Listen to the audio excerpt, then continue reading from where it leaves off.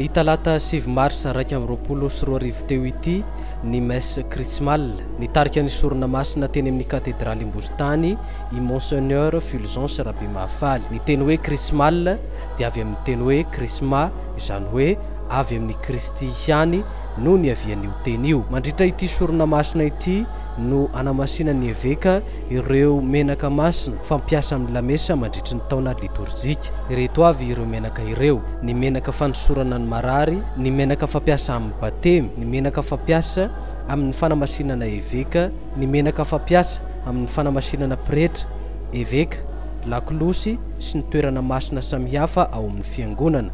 Nentina namakivaky ny Kristiana ireo menaka ireo nandritry ny sorona masina ity. Ary mba iaraho avy eny an-danitra ny fanahinao mpankahery.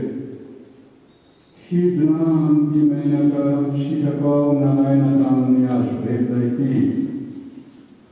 Hanome hery ny vatana sy ny fanahy aman-tsain'izay rehetra hosorana aminy. Hanala ny fanaintainana sy ny nofy ary ny aretina rehetra.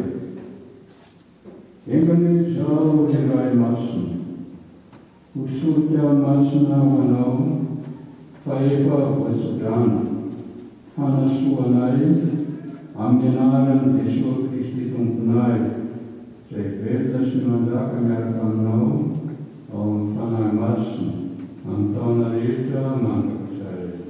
Amena.